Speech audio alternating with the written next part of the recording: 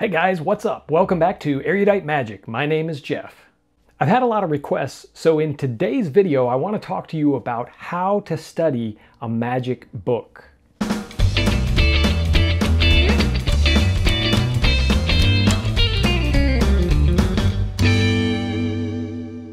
This channel is all about magic books, so if that's your thing, you are absolutely in the right place. So click that like button and subscribe so that you don't miss any of our awesome content. We all have lots of books on our shelves filled with lifetimes worth of magic. And the reason that we don't have more magic is because we don't spend time looking through the book with an eye for what we should perform. Most of the time, we want to learn secrets, we want to amuse ourselves, we want to pass the time away with learning more magic. But we want to focus that energy so that you're actually learning to perform more magic. If you want to perform more magic and not just learn and know more, watch this video for some tips. So what's the first step in deciding any magic book that you want to study? Number one, choose the book that you want to study. If you're a beginner, I highly recommend that you read everything. Don't be too discerning about what you read or even who you read while I do recommend that you take the opinion of people more erudite than yourself, I think that you should read everything that you can get your hands on. If you need help with those selections, I've already come up with a few lists exactly for you. You can start with my Annemann 5 Foot Shelf of Magic series if you want to know what books I recommend. I also have a beginner book recommendation list that I published as one of the first videos on this channel. I'll put some links up above. For everyone else who's not a beginner, if you're trying to kind of dial in on a specific book that you've bought, or maybe even a particular type effect, there are two paths that you can take. If you're a more advanced student of magic, you may be trying to dial in on a particular effect that you're interested in. If that's the case, check the description down below because I'm going to put some links to some fantastic resources when you're trying to research a particular effect that you're trying to learn. The first absolutely incredible resource out there is Denis Behr's Conjuring Archive. It is completely free and has grown exponentially over the years. Denis has been kind enough to categorize all different kinds of effects from hundreds of books, which makes researching a particular effect a snap. That's some pretty broad advice for both beginners in magic and those with more experience. However, let's get into some more subtle details about once you have a particular book that you want to read. There are a couple of approaches that I typically take. One is I may read it cover to cover. It depends on the type of book that it is. Let me give you a recent example. I just acquired this book, Resigned to Miracles. This book is basically about one effect. And therefore, this is the kind of book that I will read cover to cover because I want to learn all the different methods to deploy this particular effect. Let's say you're reading something a little bit more general. For example, The Boy Who Cried Magic. Yeah, I went there. I know I've got the book and they haven't released it yet. It's not my fault, but it's coming. If I'm reading a book like this, I'm probably going to take a slightly different approach to it than one that is about a specific effect. This book has plenty of different effects, so I may want to focus in on particular ones. And this is where the process comes into play. Once you've picked the book, I would say first and foremost, you need to find a secluded place that you can kind of call your own magic space. You really need to remove distractions. Every day there are dozens and dozens of things that are always beckoning for our attention. Our phones, Facebook, other books, toys, puzzles, kids, spouses. You don't need them if you have magic. Just kidding. if my wife is watching, I was just kidding, dear. You really want to create a space for yourself. In fact, some of the all-time greats in Magic, when they traveled, they would book two hotel rooms, one for practice and one for living in. I'm not suggesting that all of us can afford that kind of dedication, but I think it pays to have a spot that you focus on the magic. When you get a new magic book, take some time to just enjoy the aesthetic and the pleasure of a new book. Flip through the pages if you want. Look at the pictures. Allow yourself to be drawn in by whatever suits your fancy. You may see something that looks interesting that will beckon for your attention. The next thing that I usually do is I look at the table of contents. Sometimes I've bought a book because there's a particular effect that I want to know about. Other times I bought the book because I was interested in the author themselves or the overall theme of the book.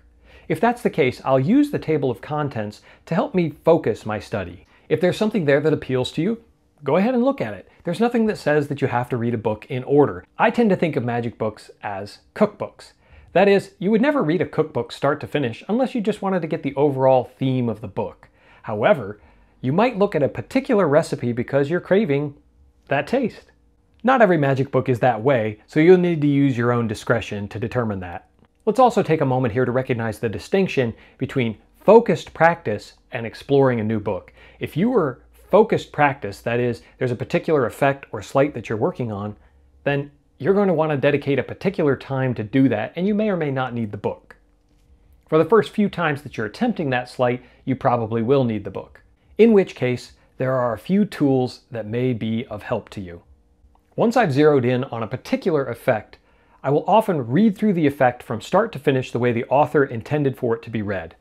Usually this will give me an overview of what the effect is and the sleights and props involved. If I'm even slightly interested in learning that particular effect, I'll take a Richard Osterlind tip, which is to go ahead and get the props out and do it right then. Even if that means making some of the props, you should stop and take care of it.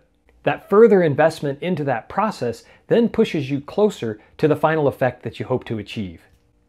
Another highly important aspect in this entire process, if you only get one thing from this video, make this the one thing that you get. You're going to need a good journal. That's right. You need to be writing down the things that inspire you, that spark your creative interest, and that make you want to pursue magic even further. You never know, one of these ideas may be the spark that gives you that next great effect that goes into your show, or it may help you create that one effect that is specifically tailored for you and comes from your own mind, a powerful combination. Most of the time when I'm writing in my journal, I keep things by date order. I usually put a general overview at the top that sums up what I'm writing about, whether it's a book, an effect, an idea, and then the date.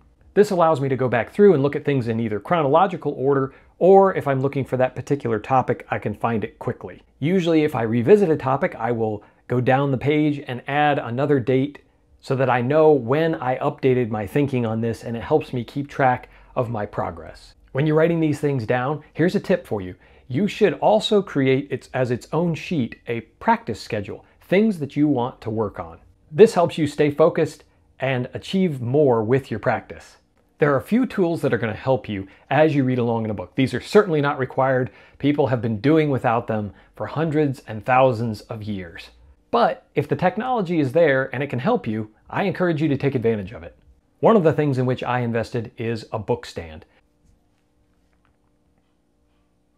With the book stand, you're able to prop open the book to the page that you're looking at so that as you walk along with the props in hand, it's easy to follow along. That can be invaluable because you need to try to remove every obstacle that would prevent you from actually practicing and trying the material. Once you've gathered or made the necessary props, you should walk through the trick with the props in hand. If you need cards, grab a pack of cards. If you need coins, get the coins. It's sometimes helpful to have a close-up pad, which again focuses the attention not only for participants in your magic, but for yourself when you're practicing. If you have a close-up pad, everything can be laid out in one particular area and you can remove distractions from that area so that you can focus on the magic. This will give you a feel for whether or not the effect might be achievable for your particular skill level at this moment. If it's not for your skill level, that's okay. You should write it down in your journal and you can revisit it later. If it was interesting enough to pique your curiosity, likelihood is it's probably a good fit for you. You just may need a bit more time to work out some of the bugs and the sleights. After you've selected a book, picked out the particular effect that you want to read, and you're reading through it, now is the time for you to make some notes, and I'm not talking about in your journal. Let's talk for a second about writing in books. I do not write in books. I did it once, it made me cry. I won't do it again. There are two solutions I have for making notes in your book. Three if you count one that I wouldn't do. The first and most obvious is to write in the book. I don't recommend that because your thinking is going to evolve over time, and as you update, you really don't want things to be messy or have to erase. That's my opinion. I don't like writing in books. Instead, I found some hacks that will help you get what you need in the book without actually writing in it. One is to write on a separate sheet of paper any thoughts that you might have, cross references, ideas for sleights that would fit better than maybe what the author originally wrote. Write that up on a sheet of paper, fold it in half, and stick it in the book. Now you have notes that can be living, breathing documents to go along with the book. So even if you run out of margin space, you'll have plenty of space on a sheet of paper. The other option is to use a post-it note. And a post-it note is slightly more convenient than a piece of paper because you can stick it exactly on the page where you want to reference. And if you ever change your mind, you can simply take the post-it note out and discard it. I make use of post-it notes extensively. Post-it notes are the perfect solution to help you put notes in your book to where if you change your mind later, you can go back and fix it. I use this method a lot. Another handy tip is once you've gone through a book, there may be things that you're interested in, and if you're not already in the habit of writing down the page number and effect name, you may want to start doing that because over time and over the years, you're going to have dozens upon dozens, maybe even hundreds of effects that you have floating through your brain. I don't know about you, but so many magic tricks have just these weird, wonderful names, but it can be really hard to remember what it was called. If you write down the name, it'll help you to search in Denis Behr's Conjuring archive or just to re-find the effect. The other thing that I use are some book darts. They're an inexpensive solution that allows you to mark a page and a particular spot on the page for an effect that interested you. The other, less expensive option is to use a small piece of post-it note, or in some cases they sell particular markers like you would mark where someone should sign a document.